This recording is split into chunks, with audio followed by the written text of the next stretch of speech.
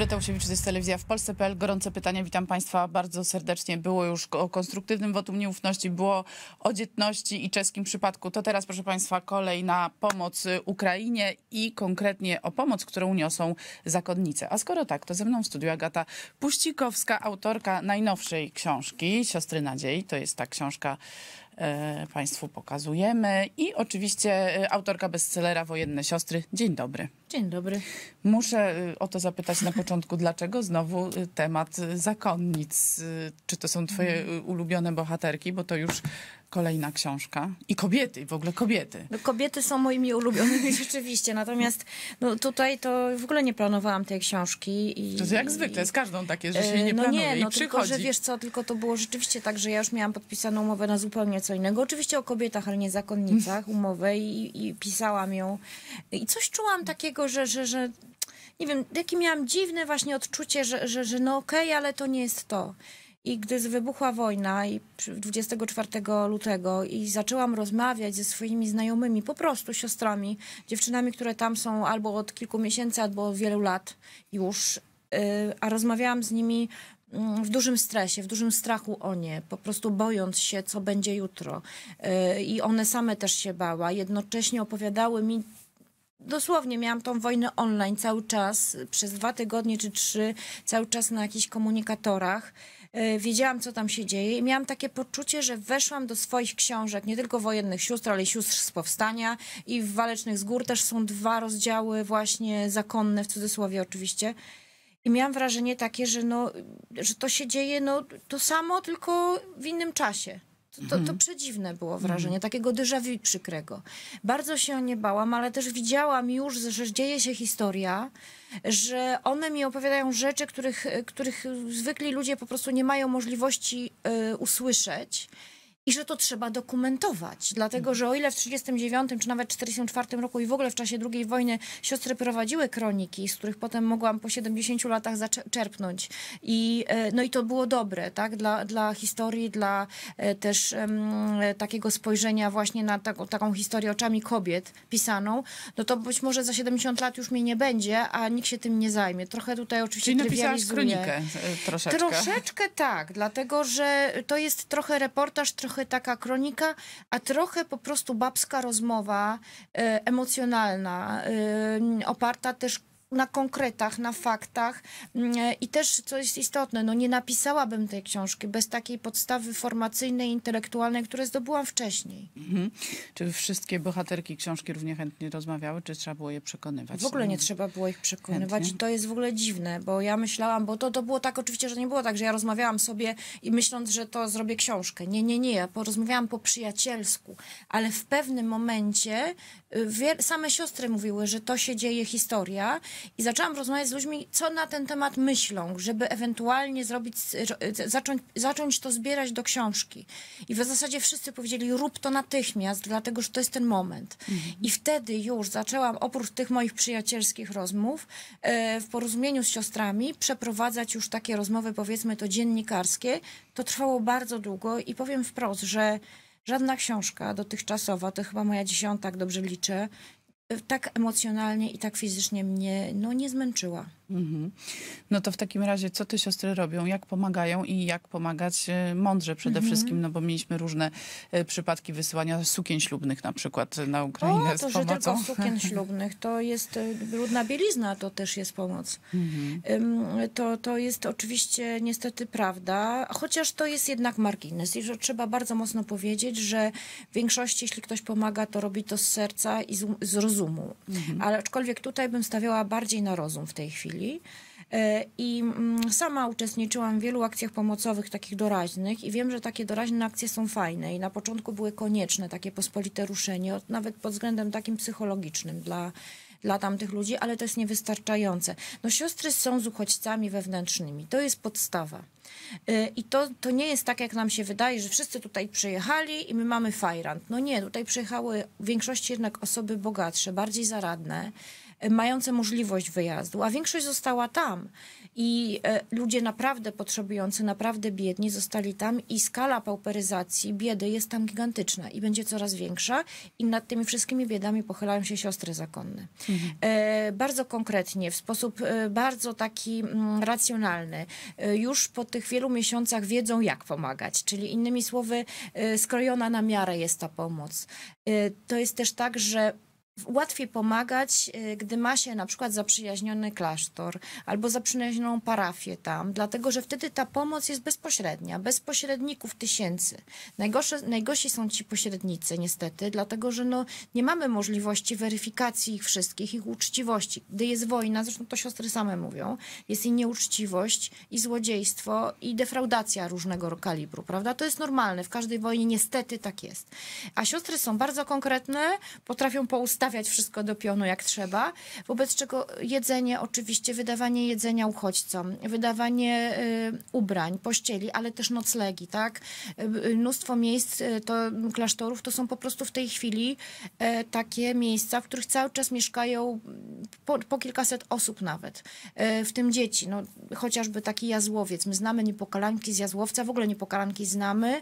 Cudowne miejsce, cudowny klasztor, Maceina Darowska, piękna historia. cóż się dzieje w lutym. W lutym e, zaczyna się wojna i natychmiast do sióstr dzwonią przesiedleńcy, uchodźcy czy siostry przyjmą, bo klasztor jest wielki. Co prawda zrujnowany przez Sowietów potwornie i siostry to przez ostatnie 30 lat własnym sumptem próbowały odzyskiwać i ratować. Niemniej klasztor jest, e, no jeszcze taki powiedziałabym, potrzebujący wsparcia. Ale oczywiście siostry mówią, tak, proszę bardzo. I kto do nich przyjeżdża? Prawie 200 dziewczyn z maleństwami, z dzieciaczkami takimi nawet dwutygodniowymi, ledwie żyjącymi dosłownie, bo nawet wcześniakami, z domu samotnej matki, orionistek z Charkowa, z orionistkami.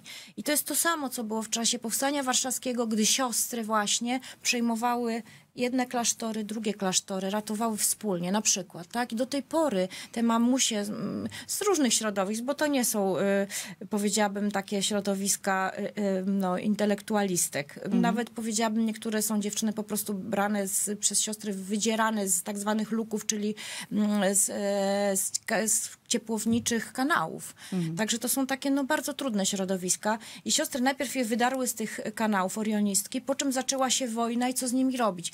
I, i, i się opiekują nimi niepokalanki bez polskiej pomocy bez tego, że my y, przesyłamy tam konkretnie pomoc, chociażby do Jazłowca, nie byłoby to możliwe.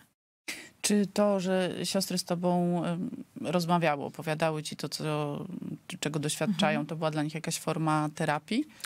Myślę, że dla niektórych na pewno.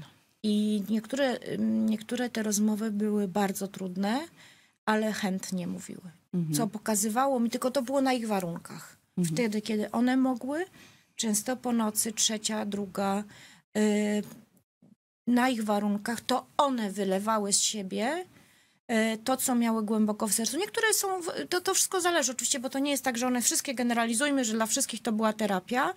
E, to nie tak jest, ale też na przykład rozmawiałam z siostrami psycholożkami. To było bardzo ciekawe, bo ja im zadawałam pytania na przykład, że czy one podejmują się terapii osób dotkniętych wojną, tak, straumatyzowanych wojną, a jedna i druga powiedziały, że absolutnie nie, dlatego, że one są zbyt mocno, jedna Ukrainka, druga Polka akurat, że one są zbyt mocno w środku tej wojny, zbyt mocno same są dotknięte tym wszystkim, co widzą, szczególnie jedna, która wyjeżdżała na front wielokrotnie, widziały i, i, i no jak się widzi groby, prawda, pomordowane gdzieś tam w Irpieniu, no to trudno później rozmawiać z wdową jako terapeutka, ale one są cały czas jako kobiety, jako siostry zakonne, jako chrześcijanki i to jest największa pomoc. Zresztą to wiesz, to jest ciekawe, bo to są babki, które no, robią właściwie gigantyczną robotę i gdy się jej zapyta właściwie, no, co one takiego robią, tak już wprost, czy one się czują bohaterkami, to w ogóle nie zadawałam takiego pytania, bo bym usłyszała parsknięcie śmiechem.